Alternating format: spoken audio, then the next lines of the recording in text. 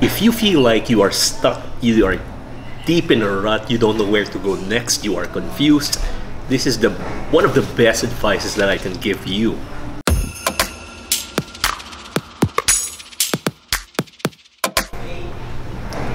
Hey, Jayson Lo here, and if you feel like you are stuck, you are deep in a rut, you don't know where to go next, you are confused, this is the one of the best advices that I can give you.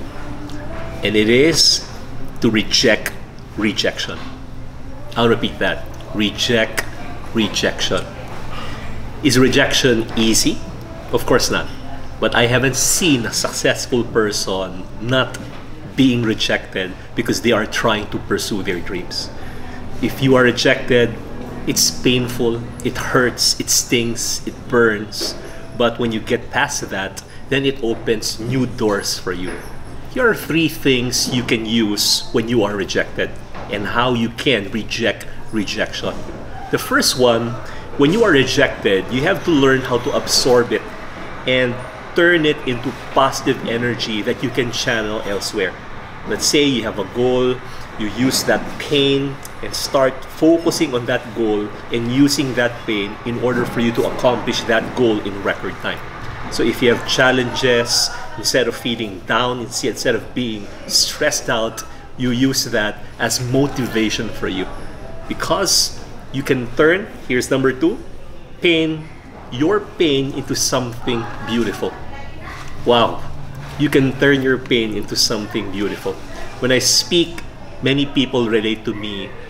Well, they don't really relate to me when I share my success stories, but all of them relates to me when I share my my failures, the the, the challenges, and all of those uh, stories that got me down and out. And you feel like you can't move forward anymore. You would feel depressed. You feel um, not just, just stressed out but it's as if you have no hope anymore. One of the most painful stories in my life was when we lost everything that was so painful but whenever i speak on that everyone in the room will listen to me because they relate to it in some way. And the be- the most amazing part of it is that the worst experience of my life became the best experience of my life.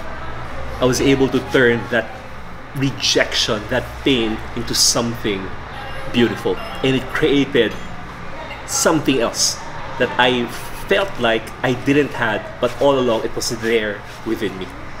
And the third, listen to this, the more you are rejected, the more you will be accepted. The more you are rejected, the more you will be accepted. Acceptance is good, it's okay. But if everyone is accepting you, then it means that you're not doing something that's pushing the boundaries or going outside of your comfort zone. Because every time you go outside of your comfort zone, there's going to be rejection if you look at the president of the Philippines or a president of a country, all of them were rejected. But because they were rejected repeatedly, more people accepted them. So don't go chasing around people who will eventually reject you or you feel like you want to belong. Because if you just focus on who you are, then those people will come to you.